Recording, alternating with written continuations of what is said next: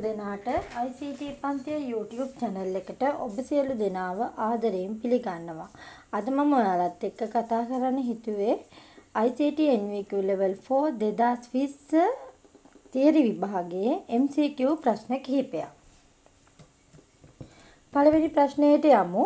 මෙහෙයුම් පද්ධතියක් කියනුවේ පහත් සඳහන් ඒවායින් කවරක්ද? මෙහෙයුම් පද්ධතියක් කියන්නේ මොකද්ද? the interface between user and the machine. හරි. එතකොට මේ Word Excel Access කියන්නේ application softwares. එතකොට මේකේ උත්තරේ තමයි Microsoft Windows. හරි. ඊළඟට අපි බලමු මුලින් කුඩාම ඒකකයෙන් ආරම්භ වී විශාලම ඒකකයට පෙළගස්වා ඇති ආකාරය නිවැරදි අනුපිළිවෙල කුමක්ද? මේ මේ කොහොමද යන්නේ? bit byte kilobyte megabyte gigabyte terabyte. එහෙනම් පිළිතුර වෙන්නේ මොකද්ද? C. කොහොමද මේක වෙන්නේ? බිට් 8ක් බයිට් එකයි, බයිට් 1024ක් කිලෝබයිට් එකයි, කිලෝබයිට් 1024ක් මෙගාබයිට් එකයි, මෙගාබයිට් 1024ක් ගිගාබයිට් එකයි, ගිගාබයිට් 1024ක් ටෙරාබයිට් එකයි. ඊළඟට බලන්න යම් කාල පරතරයකින් පසු ලේඛනය ඩොකියුමන්ට් එකේ කියන්නේ ස්වයංක්‍රීයව සුරකින සේව් වන MS Office ඇති විශේෂාංගය කුමක්ද? මේක තමයි auto save. හරි මේකට auto recover කියලාත් කියනවා. A feature of MS Office that save the document automatically after certain interval is available on Save tab on option dialog box is called auto recover or auto save. හරි? ඊළඟට අපි බලමු සියලුම අකුරු ලොකු all capital letters කිරීමට හෝ අකුරු කුඩා all small letters කිරීමට හැකි වෙනුවේ MS Office කුමන විශේෂාංගයේ මගින්ද? එහෙනම් ඔයගොල්ලන්ට දැක්කේ ගමන් පිළිතුර කියන්න පුළුවන් all capital letters, uh, early small letters, එතකොට toggle case, uh, sentence case ඒ ඔක්කොම තියෙන්නේ මොකේද? මේ change case වල. එහෙනම් උත්තරය එන්නේ B. answer B. තුන්වෙනි ප්‍රශ්නය බලන්න පරිගණකයේ මතකයේ සම්බන්ධ පහ සඳහන් ප්‍රකාශ අතරින් සත්‍ය වන්නේ කොහොමද? කියවීමට පමණක් හැකි මතකයට ROM කියලා අපි කියනවා. හරිද? ROM කියන්නේ తాවකාලික මතකයලු. එතකොට ඒ කියන්නේ මේක දිහා ROM is a volatile memory නෑනේ. ROM එක volatile memory වෙන්නේ නෑ. ROM ROM එක non volatile memory. හරි? volatile නෙවෙයි non volatile. ඒ කියන්නේ විදුලිය විසන්ධි වීමකදී ROM එකේ තියෙන දත්ත විනාශ වෙන්නේ නැහැ. හරි? මේක primary memory secondary memory කියලා බෙදුවොත් primary memory වලට එනවා ROM එකයි RAM එකයි. නමුත් volatile memory non volatile memory කියලා බෙදුවාම ROM එක යන්නේ non volatile පැත්තට. ඊළඟට සසම් එතකොට P කියන එක වැරදි. සසම්භාවී ප්‍රවේශ මතකයට අපි කියන RAM ඒක తాවකාලික මතකයක් ඒක හරි. හරි ඒක volatile memory එකක් එහෙනම් Q කියන එක හරි. අපි බලමු තුන්වෙනි ඔප්ෂන් එක. දිවිතික මතකය යන తాවකාලික මතකයයි. එහෙම පිටින්ම වැරදි. දිවිතික මතකය කියන්නේ මොකක්ද? ස්ථිර මතකයක්. හරිද? එහෙනම් පිළිතුර වෙන්නේ මේකට Q පමණි. ඊළඟට බලමු MS Word හි පුනරාවර්තන වචනයක් දක්වන්නේ කෙසේද? පුනරාවර්තන වචනයේ යටින් රතු පාට රැලි සහිත රේඛාවක් මගින් අපි ඒක දක්වනවා. MX Excel හි value හා සූත්‍ර ෆෝමියුලා ඇතුළත් කිරීමට යොදා ගන්නා ස්ථානය කුමක්ද? කෙලින්ම දන්නවනේ අපි සූත්‍ර ගහන්නේ සූත්‍ර තීරුවේ කියලා එහෙනම් ෆෝමියුලා බා. MX Excel හි සූත්‍ර ආරම්භ කිරීමට භාවිතා කරන සංකේතය. සූත්‍රයක් ආරම්භ කරන්න කලින් අපි අදාළ සෙල් එකේ සමාන ලකුණ දානවා. එහෙනම් පිළිතුර D. ඊළඟට මම MX Excel හි C5 කොටුව 59 59 තියෙන. if condition එක දානවා මේ විදිහට. if C5 greater than 75 එහෙම වුණොත් මොකද වෙන්නේ? pass එහෙම නැත්නම් else.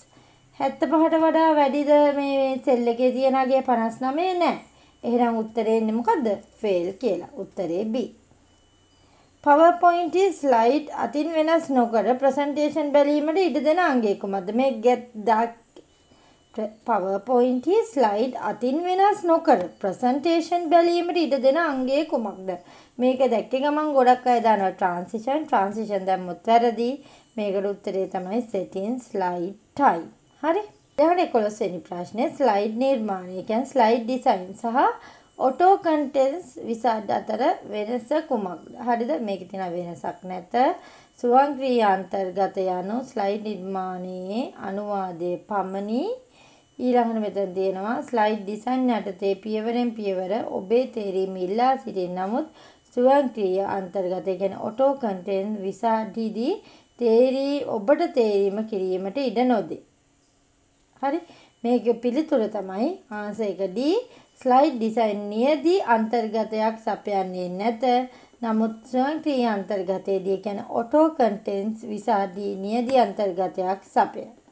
හරි ඊළඟට නිශ්චිත නිර්ණායක ස්පෙસિෆික් ක්‍රයිටීරියා දීලා ඒ මත නිශ්චිත තොරතුරු උපුටා ගැනීම සඳහා භාවිතා වන Microsoft ප්‍රවේශ දත්ත ගබඩාවේ කියන්නේ MX Access Database CSE object එක කුමක්ද query object ඊළඟට MS Access one to one relationship ගැන ඔයගොල්ලන්ගෙන් අහන්නේ one to one relation කියන්නේ කොහොමද මොකද්ද එක් වගුවක එක් රෙකෝඩයක් තවත් වගුවක හරියටම එක් රෝගෝඩයක් සමග සම්බන්ධ කළ හැකි සම්බන්ධතාවය.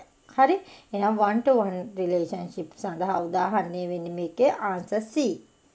14 වෙනි ප්‍රශ්නය වෙනත් වගුවකට table ඇතුළත් කර ඇති primary key එක. තවත් වගුවකට ඇතුළත් කළ විට එය හඳුන්වන නම. මේකට පිළිතුර foreign key එක. හරි?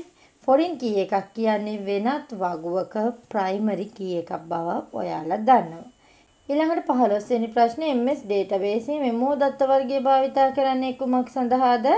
to at table වැරදි. ඊළඟට වෙනත් වැඩසටහන් වල සාධන ලද object දබදා කිරීමට. මේකේ තියෙන්නේ to store object created in other programs වැරදි. ඊළඟට දිගු දත් ඇතුළත් කිරීම තියෙනවා. මෙතන දැන් ඔයාලට මේකේ දෝලණය වෙන්නේ පිළිතුර CD අතරින් දෙකෙන් එකක්. අක්ෂර 255ට නොඅඩු දත් ඇතුළත් කිරීම සඳහා කියලා තියෙනවා. 255ට නොඅඩු දත් ඇතුළත් කරලා නම් අපි ෂෝට් ටෙස්ට් නේ ගන්නෙ. දිගු දත් ඇතුළත් කිරීම සඳහා අපි භාවිතා කරන්නේ for long test කියන එක. එහෙනම් ආන්සර් එක C. URL එහි www යන්නෙහි තේරුම කවුරුත් දන්න එකක් තමයි World Wide Web.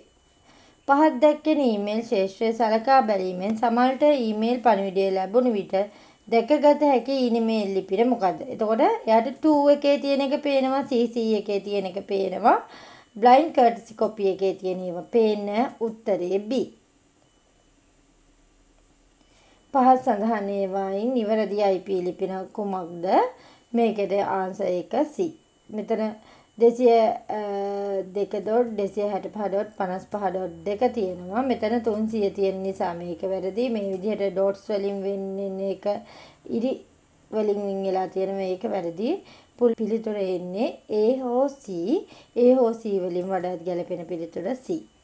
සියලුම දත්ත තොරතුරු මධ්‍යම පරිගණකයක් කරහා ගමන් කරන ජාල හඳුන්වන්නේ කුමන නමකින්ද? මධ්‍ය පරිගණකයක් වට අයික්‍රැක්ස් වෙලා තියෙනවා නම් ඒකට අපි කියනවා ස්ටාර් ටොපොලොජි එකක් කියලා. රූප ග්‍රැෆික් ගොනු ආකෘතිය. ෆයිල් ෆෝමැට් එක නොවන්නේ. හරිද? එතන ග්‍රැෆික් ආකෘතියක් නොවන්නේ මොනවද? මේ PNG, GIF, BMP ඔක්කොම ග්‍රැෆික් ආකෘති.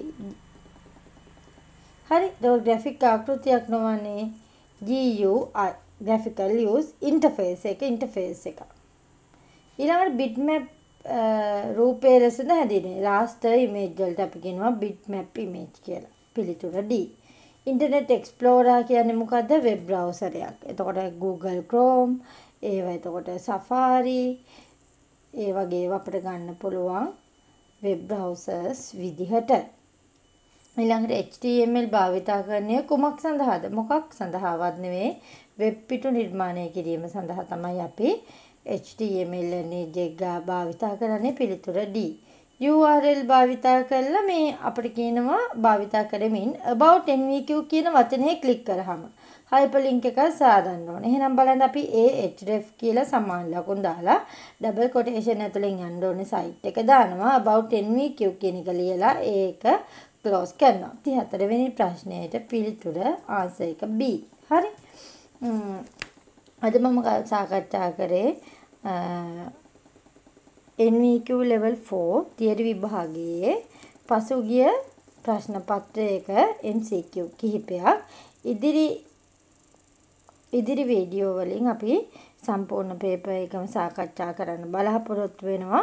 මම හිතනවා ඔයාලට මේ වීඩියෝ එක ප්‍රයෝජනවත් වෙයි කියලා. අවංකවම ඔයාටත් ඔයාගේ හිතට දැනෙනවා නම් මේ වීඩියෝ එක ඔයාට ගොඩක් ප්‍රයෝජනවත් වුණා කියලා කමෙන්ට් කරන්න, ලයික් කරන්න, තවත් යාළුවෙක්ට බලන්න මේ වීඩියෝ එක ෂෙයා කරන්න. ඔයාලා තාමත් මගේ ICT පන්තිය YouTube channel එක subscribe කරලා නැත්නම් දැන්ම ගිහින් ICT පන්තිය YouTube channel එක subscribe කරලා ඒ ඉස්සරහා තියෙන bell icon එක press කරලා ඕල් කියන කමාන්ඩ් එක ලබා දෙන්න. එතකොට මම වීඩියෝ එකක් දාපු ගමන් ඔයාට නොටිෆිකේෂන් එකක් ඔයාගේ ළඟටම ගෙන්න ගන්න පුළුවන් වෙනවා. ඉතින් නැවතත් අලුත් දවසක හම්බ වෙමු. සුබ දවසක් රැඳී සිටිය සියලු දෙනාටම